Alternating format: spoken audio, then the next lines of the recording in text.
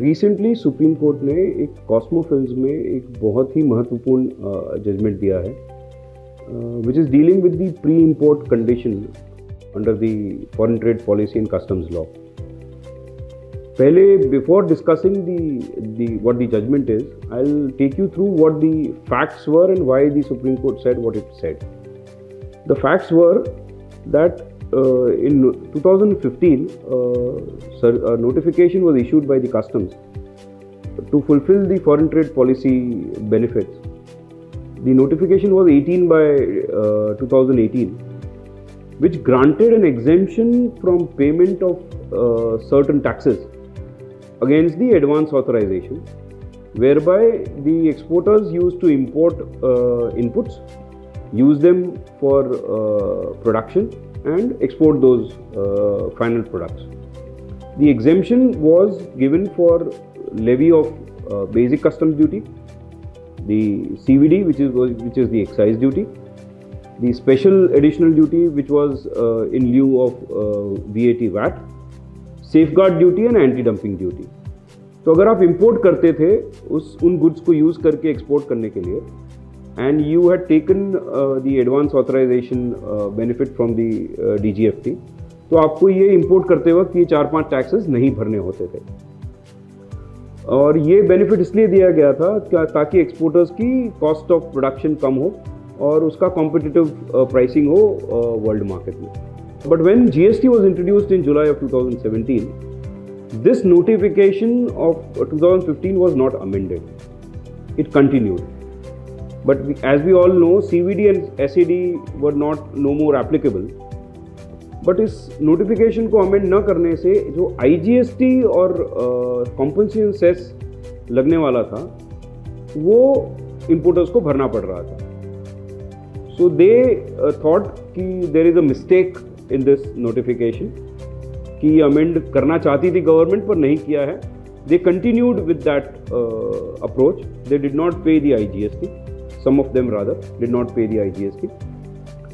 And uh, the government department, the DRI, started an investigation. Rather, before the investigation, uh, notification was issued on 30th, 13th October 2017, whereby this notification was amended and said कि आपको IGST और compensation cess का भी exemption मिलेगा. But they introduced two new conditions. that exemption will be available only for physical exports. So deemed exporters को ये benefit नहीं मिलने वाला था दूसरी जो कंडीशन उन्होंने इंट्रोड्यूस की और जिसके ऊपर ये पूरा केस आधारित है it was a condition of pre import where by the exporter was required to import the goods first use them first produce the final products and then export the exporter said कि इसमें तो हमको बहुत time लग जाएगा। हमारा जब export order आता है, तभी हम इंपोर्ट के लिए ऑर्डर प्लेस करते हैं। तो वो जब प्रोसेस होगा इंडिया में आएगा, फिर हम उसको यूज़ करेंगे और फिर एक्सपोर्ट करेंगे तो उसमें छः से आठ महीने हमको लग जाएँगे। तो दे वांटेड कि ये वन टू वन कोरिलेशन ना हो और हमको जो भी हमारे पास गुड्स इन्वेंट्री में है, उसी से हम प्रोडक्ट्स करके प्रोडक्शन करके जो हम एक्सपोर्ट करेंगे तो वो हमको अलाउ कर दिया जाए। They, some of them continued with this approach. They, whenever they imported, they did not pay the IGST. Now, DRI started investigation, and uh, the view of the government was that this pre-import condition is mandatory. Gujarat high court में जब matter गया तो the high court agreed with the petitioners, the uh, taxpayers, and said that this condition is creating an impossibility for the exporters whereby they are not able to do business efficiently. And if the entire uh, condition is, is satisfied the exemption becomes illusory. So the government struck down this condition uh, the sorry not the government the uh, high court struck down this condition. The government went to the supreme court and supreme court in this recent judgment has spoken against the taxpayers and said that this condition is mandatory. The reasoning which the Supreme Court is, has given is very important and it will apply in many other cases as well.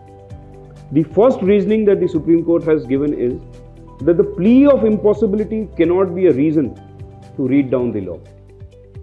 तो अगर आप ये कहते हो कि मेरे लिए impossible है कंडीशन तो उसकी वजह से लॉ का इंटरप्रिटेशन नहीं किया जा सकता उस तरीके से second plea the reasoning given by supreme court is the differential treatment for BCD and IGST के नॉट बी एक्सेप्टेड कि भाई इनका ये पिटिशनर्स का व्यू था कि बीसीडी के लिए तो आप प्री इम्पोर्ट की कंडीशन नहीं रख रहे हो तो फिर आईजीएसटी के लिए क्यों तो द सुप्रीम कोर्ट सेड कि there can be two different condition for the same transaction for different taxes there is nothing wrong in it. The government has the uh, powers to do that.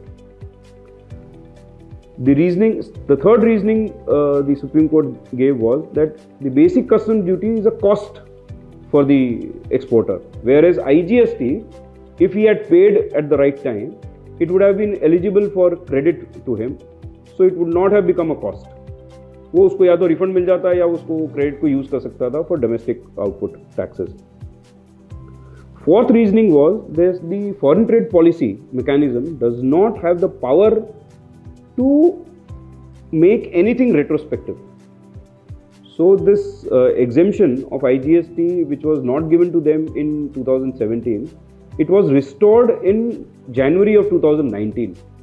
So the next plea that the petitioners took was कि ये जो आपने 2019 में किया है ये आपने 2017 में गलती कर दी थी उसको सुधारा है इसलिए ये जनवरी 2019 के नोटिफिकेशन को रेट्रोस्पेक्टिव माना जाए the Supreme Court said no, the foreign trade policy does not have the power to do anything retrospectively.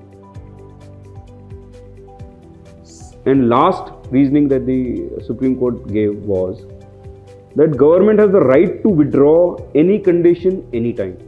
तो उन्होंने जब 2017 में वो कंडीशन डाली तो वो उनका राइट था और जब 2019 में निकाली तो वो भी उनका राइट था so you can not say that they did not have the right to remove it later or uh, to not give it earlier.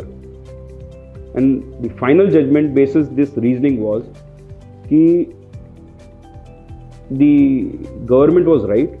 The petitioners will have to pay the IGST and the compensation cess wherever applicable on all those imports and uh, that will have to be paid now because I think all the show cause notice have been issued.